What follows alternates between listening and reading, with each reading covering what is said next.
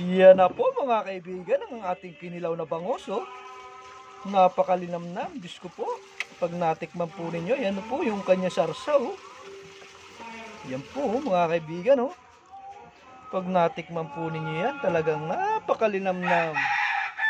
Ang kinilaw na bangos ni Makamanok, talaga namang Diyos ko po, Rode, mapapasigaw ka. Magiging Diyos mo si Rode pag natikman mo ito. Napakasarap at napakalinam na mga kaibigan. Kung kayo po ay gustong makatikim ng kinilaw na manok mga kaibigan, ha? Kinilaw na bangos? Wala? Just PM lang po kay Makamanok at kayo po ay aking paggagawa nito at napaka sarap mga kaibigan. Kinilaw na bangos. Bye Makamanok.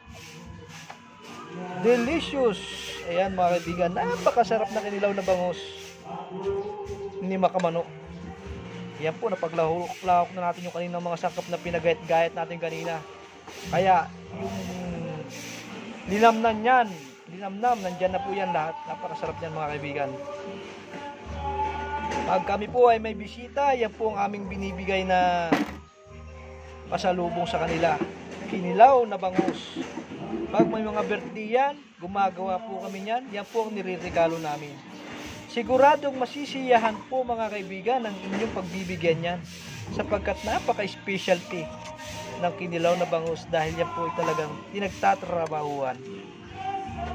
Ang linamnam nanunuot sa inyong lalamunan, sa inyong ngalangala. Napakasarap mga kaibigan. Yan po, tingnan nyo ma'am, oh, juicy juicy. Juicy juicy. Ang kinilaw na bangus ni Makamanok. Mga kaibigan, don't forget to subscribe my channel. Just click the button. Ayan mga kaibigan.